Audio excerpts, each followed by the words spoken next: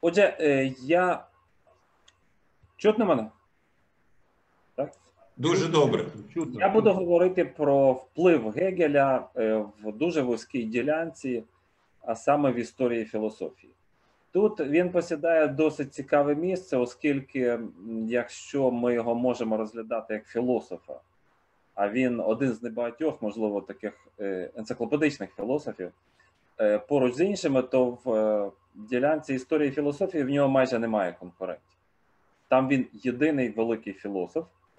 І, як на мене, це зіграло е, дуже погану роль в його подальшій рецепції і впливі, оскільки е, ну, я погоджуюсь з тим, що е, Гегель є батьком-засновником історії філософії, але ем, всі наступні історії філософії починаються або зі спроби дорозвинути там, допрацювати його історію філософії, що досить рідко буває, так? або зі спроби запропонувати щось альтернативне Гегелю.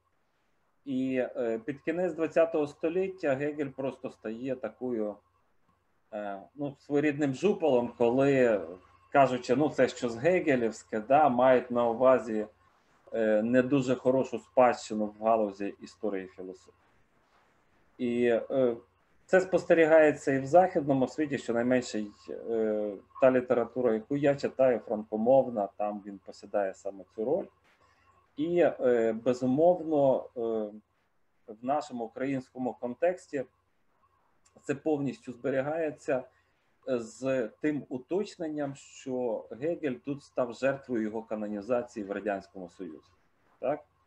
Де е, насправді існувало те, що варто назвати Марксо-Гегелівською концепцією, так тобто радянською версією е, Марксо-Гегелівської концепції, яка вважалась незмінною, е, чітко визначеною, і вже я б сказав, десь з 80-х років е, наші класики української історії і філософії намагаються дедалі більше відійти від цієї концепції і з 90-х починають її відверто критикувати. І ця критика відіграє не дуже добру роль і в сприйнятті Гегеля, і я б сказав, е, в подальшому розвитку історії філософії. Е, як дисципліни, ну, е, перший приклад це, звичайно, Вілен Сергійович Горський, наш класик історії української філософії, який навіть критикує не Марксо Гегелівську концепцію історії філософії, як це тоді називалося, а е, має на метою критики саме гегелівську концепцію. Це показує дуже е, простий факт його ототожнення двох концепцій, які існують на момент 90-х років е, в історії української філософії. Він бере радянську концепцію і бере концепцію Чижевського, кажучи, що в них є спільним те, що вони обидві виходять з Гегеля, і це погано, це те, чого потрібно позбуватися. Головним предметом критики це для нього є е, те, що він називає монологічною лінійною е, концепцією історії філософії, протиставляючи її діалогічну багатолінійну. Е, це погано вплинуло ну, на рецепцію Чижевського в Україні, оскільки Чижевський це, мабуть, найбільший, якщо не єдиний гегельянець, е, український гегельянець ХХ століття, який не перебував під впливом марксизму чи радянського марксизму. Так? І в нього є, е, ну тобто він був реально почетний, він навчався в Німеччині, дружив з багатьма німецькими філософами, входив е, в гегельянське кола, і його спадщина могла б бути цінною для таких якоїсь тяглості е, гегельянства в Україні, але Чижевського традиційно не приймають і критикують саме за гегельянство, так? як історика філософії. Це від Гегеля, це не важливо, це не має значення. Е, другий приклад е, це приклад Юрія Вячеславовича Кушакова, який ну, для мого покоління філософів був авторитетом і вчителем німецької класики. І я маю на увазі його е, проект, який він сам називав Історія історико-філософської науки. Це проект, який абсолютно свідомо будувався всупереч е, Гегелевій історико-філософській концепції. Так, е, що з цього починав сам Кошаков, написавши книгу про Фойербаха, де ну і він, мені здається, до кінця свого життя залишився переконаним у тому, що Фойербах був найкращим і ну чи не найкращим, чи не найглибшим критиком е, історії е, історико-філософської концепції Гегеля. І е, подальші кроки цього проекту вони показують, що це спроба якось е, знайти альтернативу Гегеля, звертаючись часто до е, ну, постатей, ну, які не були особливо істориками філософії, такі як Шестов, чи е, Соловйов, чи Гайне, наприклад, так. І е, намагаючись от, е, показати щось е, відмінне, чи те, що відрізняється і дедалі Гегеля, е, попри це, е, як на мене, залишається велика лакуна. Насправді, навіть е, в 90-ті роки ні в межах цього проекту, ні паралельно до нього не було поставлено завдання а реконструкції, власне, не історико-філософської концепції Фойербаха чи Гайне, чи там когось, а самого Гегеля, в чому вона все-таки полягала, що ми критикуємо. Так, тобто е, історико-філософська концепція Гегеля залишається якоюсь, ну, саме собою зрозумілою константою, як, ну, яку можна використовувати, критикувати, приймати чи не приймати, але власне досліджувати тут нічого. Так? І е, який я бачу е, вихід з цієї ситуації, ну, як на мене, він дуже добре окреслився у е, наших дискусіях, тих, які лунали. Е, я вдячний Віктору Петровичу Козловського за його таке змалювання того, е, що таке Гегель як постать, так, як ми можемо, е, е на які підстави ми можемо говорити, Гегель вважав, Гегель хотів і так далі. І в галузі історії філософії е, це набагато складніше. Насправді, і Віктор Петрович про це говорив. Е, те, що ми не маємо якоїсь такої чітко оформленої остаточної концепції, ну або чогось такого, що можна було назвати е, історико-філософською концепцією Гегеля, оскільки ті праці, до яких звичайно апелюємо, це курс лекцій з історії філософії, зазвичай це така синтетична справді праця, яка не враховує численних рукописів, записів студентів, того, що зараз, е, мені здається, наприкінці ХХ століття почали робити для того, щоб реконструювати, а чим же була ця е, історико-філософська концепція, чи я би віддав перевагу ідея історії філософії Гегеля. Так, і отже, е, ну. Це вже відбувається. Я знаю численні дослідження на цю тему. Тобто, з одного боку, це е, реконструкція того, а що ж все-таки Гегель думав про історію філософії, так?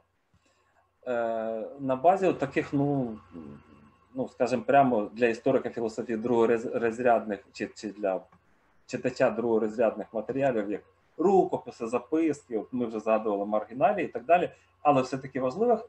І е, другий момент це спроба позиціонувати історико-філософську чи ідею історії філософії Гегеля у контексті того часу. Адже е, ну, навіть поділяючи ідею, що Гегель є батьком-засновником, ми ми всі знаємо, що е, ну, вже століття як історія філософія читалася до Гегеля в німецьких університетах як дисципліна, вже були ну, численні, в тому числі солідні і більш такі поширені і ерудитські видання, ніж лекції з історії філософії, ну, які не було виданням, було всього-навсього лекція. І е, позиціонування Гегеля у істор... ідеї історії філософії Гегеля от е, в контексті всіх тих ідей, викликів, міркувань на рахунок того, чим може бути історія філософії.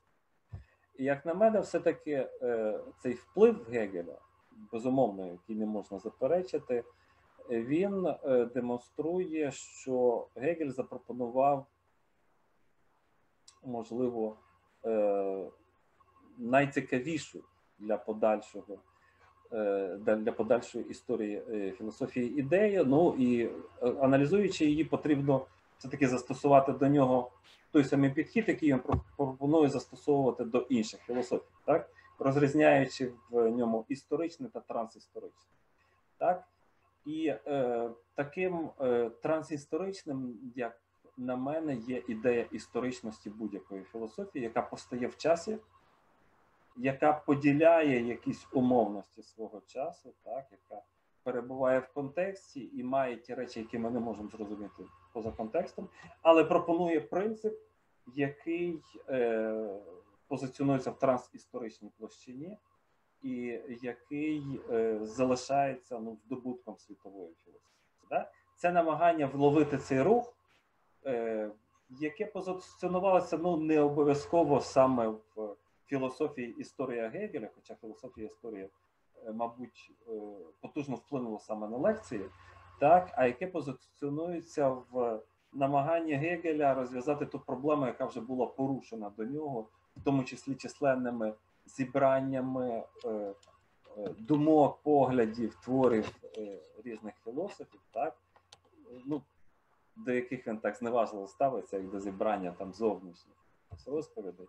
Так, і це проблема множинності філософії. Як може бути так, що ми маємо численні філософські теорії, кожна з яких, зокрема, може виглядати переконливо, але тим не менше вони не формують суміш чогось логічного, так, е, вичерпного і не, не суперечливого.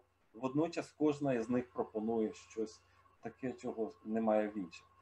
Таким чином, я думаю, що, е, ну, як на мене, е, вплив Гегеля і ця ком- компроментація Ге- ідеї історії філософія Гегеля, вона пов'язана із тим, що в е, філософії Гегеля було історично.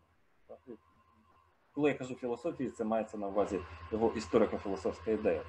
Тобто е, він апелював до поширеної чи прогресивної в його час ідеї історії як прогресу, яку сьогоднішні історики філософії, ну чи взагалі філософи, можливо, навіть громадяни західного світу не приймають, е, яка зрозуміло, е, зрозумілих причин відійшла у небуття чи залишила якісь ефекти, але ну, яка, можливо, не є необхідною частиною Гегелевого історико-філософського проекту. І друге, е, те, що постійно викликає критику Гегеля з боку істориків філософії, це те, що він звичайно, що е, історична наука, власне, історія, да, як галузь дослідження, пережила е, величезну еволюцію впродовж 19-20 століття, і е, ті способи підходів до е, учень минулого, які ми маємо в е, лекціях, так ну вони сьогодні виглядають е, непереконливими, скажімо так, застарілими, там не надто детальними, такими, що ігнорують контекст і так далі. Це можна пояснювати, зрозуміло, що Гегеля це насправді не цікавило, тим не менше, е, скажімо так, е, це виглядає непереконливо.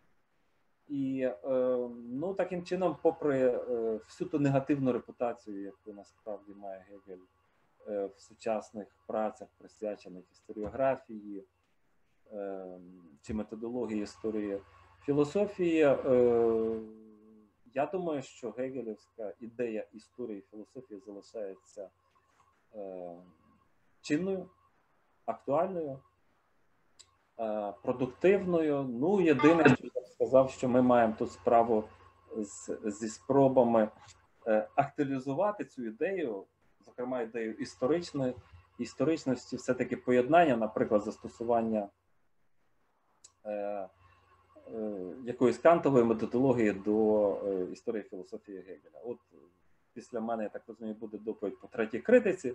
Я можу тут процитувати Поля Рекера, який говорив, що так, ця ідея історичності Гегеля е, залишається дуже важливою предметом нашого аналізу. Єдине, що вона потребує чогось на кшталт третьої критики Канта, а саме критики, е, точніше, вона потребує критичної філософії історії, яку ми повинні мислити на кшталт третьої критики Канта, як критичну філософію історії або критики е, історичного судження. Так, ну я сподіваюся, що ми в українському контексті е, так чи інакше побачимо не тільки відзвуки е, західних робіт е, на цю тему, а й можливо якісь оригінальні роботи, які будуть звертатися до ідеї історії філософії Гегеля вже в позитивному сенсі, намагаючись її актуалізувати і розвинути далі. Дякую за увагу.